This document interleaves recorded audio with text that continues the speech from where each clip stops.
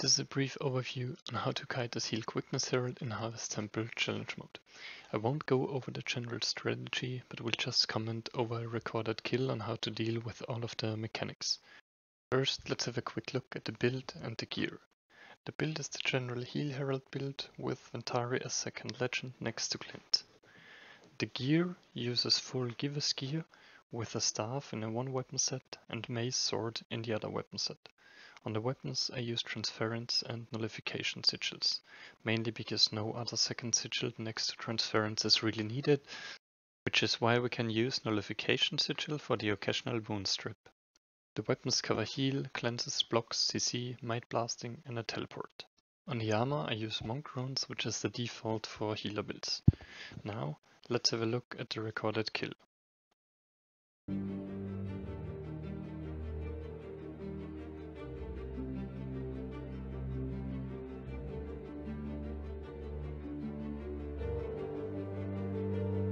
For pushing the mace sword set is a bit better since you have more hits on those weapons. And also obviously don't forget to apply quickness.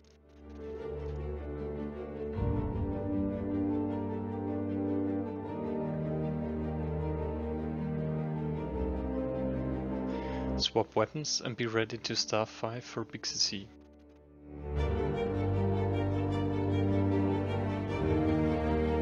Before you run out with red, you always want to make sure to spam your quickness abilities. Also use your F2 active and then swap to Ventari to apply resistance with Ventari Elite. This helps ignoring the chill for all the DPS players.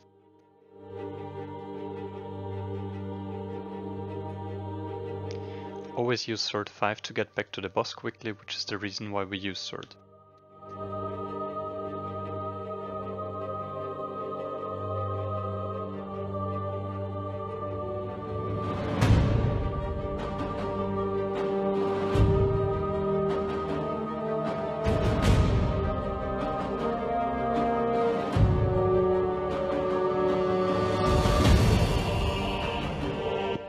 If your squad does not have the DPS to skip the next screen, you would play it similarly to the first one.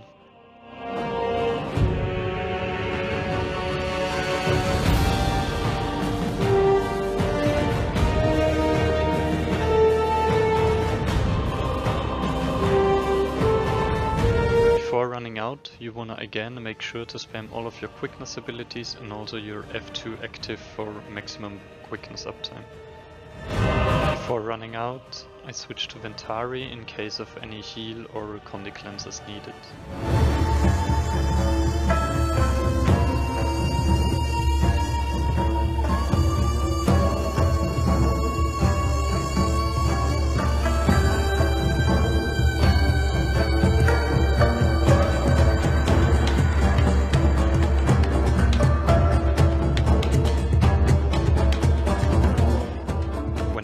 Is time, you can use Mace 2 into Mace 3 to blast some additional might.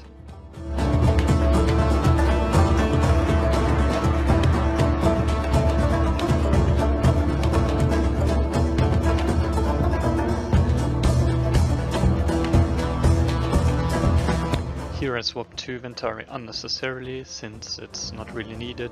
You could have just stayed on Glint and use Glint Elite for the super speed.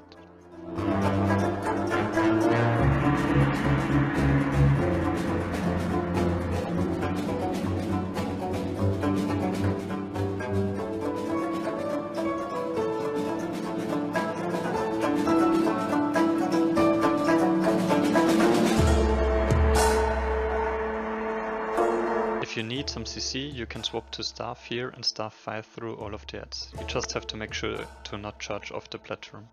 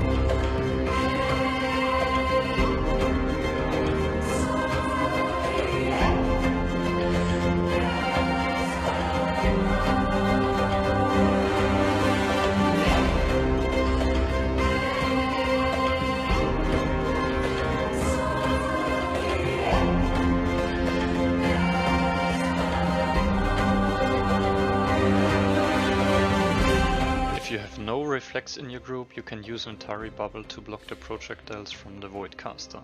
But if you have any reflect, then don't use it because Ventari Bubble destroys the projectiles, while other sources of reflect reflect it onto the boss, which helps with killing it.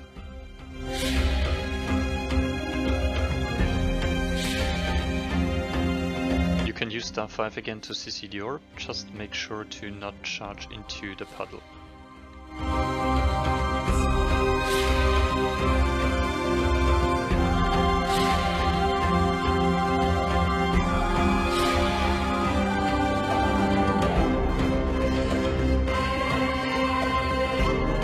Similarly to before, before running out, you can use all of your skills and your F2 active to cap out quickness at time.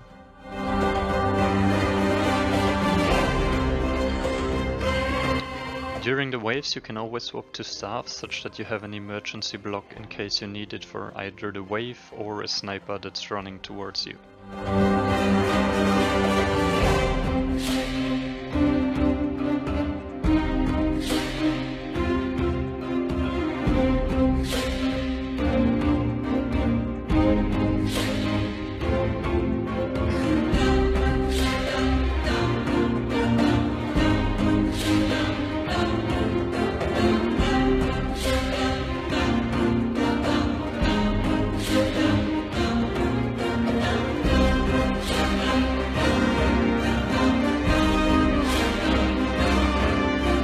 Similar to before, if CC is needed, you can CC with staff 5.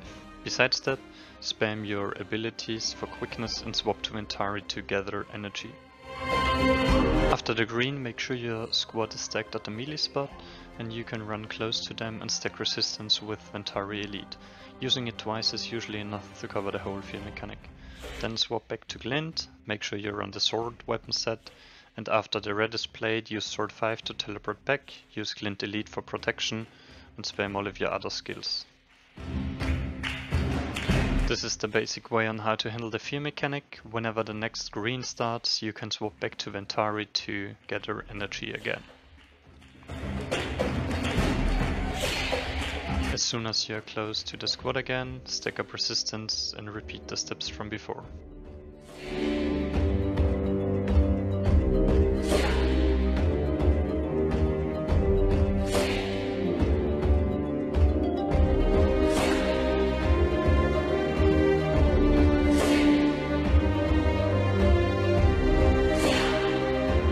Although it was not needed this time, but you can use staff 3 to block the projectiles.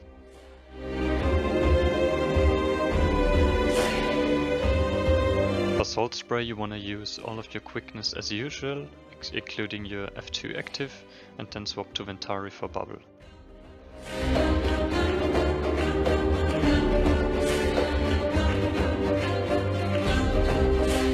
Obviously you wanna use your Ventari bubble with the orb. I was apparently sleeping here a bit and missed it for the first part.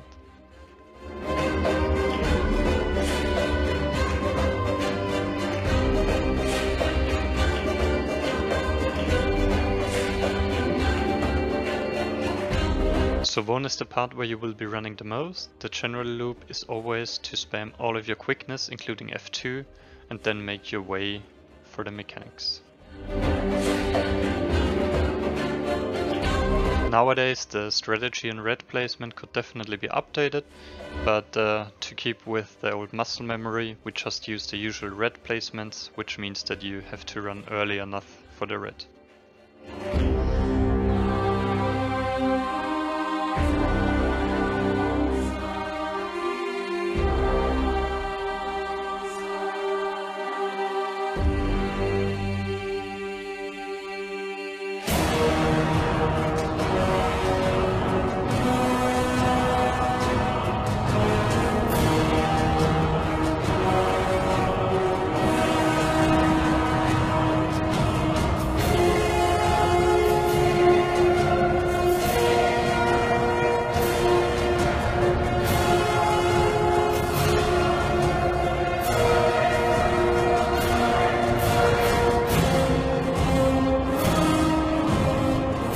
Final orb phase starts, make sure again to spam all of your quickness and then go into Ventari for the bubble.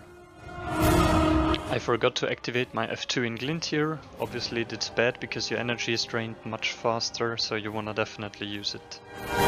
Because of this little misplay, you will also see in a bit that uh, the bubble won't last for all of the orb phase, which it usually will.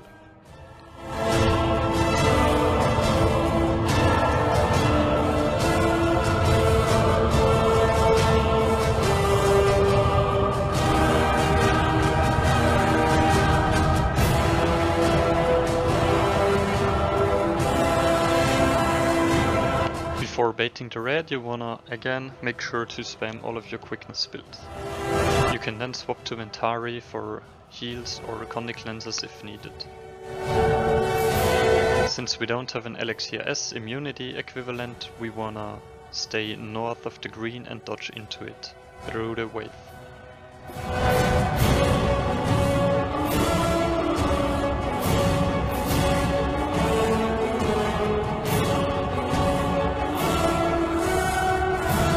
Block the Tail Slam and various other attacks with Staff 3, so make sure to use it if it saves your life. We could have also placed the reds on the other side of the Tail Slam as usual, but since we had a high DPS squad it was not necessary.